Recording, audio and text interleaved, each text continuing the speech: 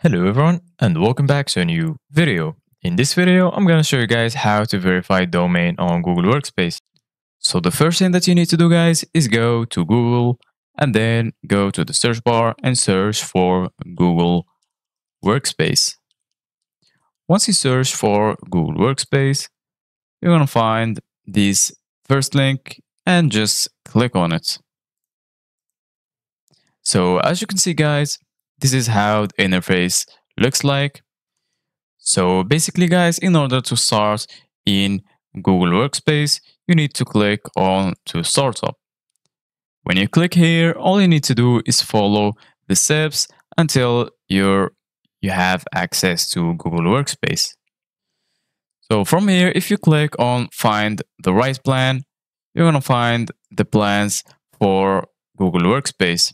So there is the business starter with 5 euros, the standards business with 11 euros, and the business more. You can also have a free trial for 14 days.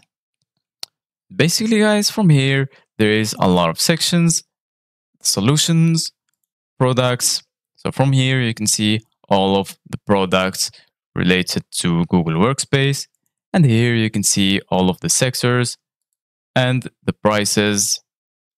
As you can see, guys, this is the business starter, business standards, business plus, and enterprise. So basically, guys, in order to verify your domain, just go to this website, which is support.google.com. And then here in the search, search for verify your domain. So once you find verify your domain, all you need to do, guys, is scroll down until you find how to verify your domain.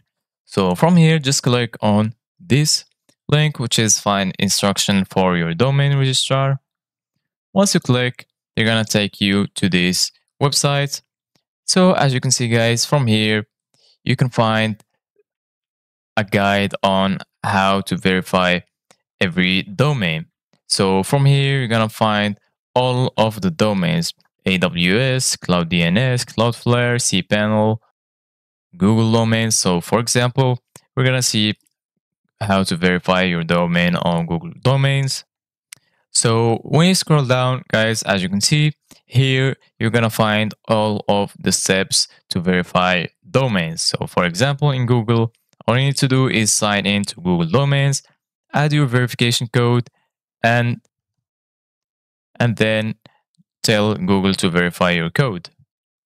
So this is it guys for today's video. Thank you guys for watching. See you guys in the next video.